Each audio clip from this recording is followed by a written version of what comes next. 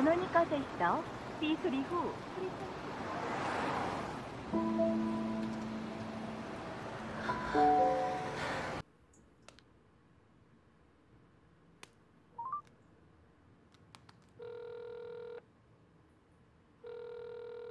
전원이 꺼져 있어.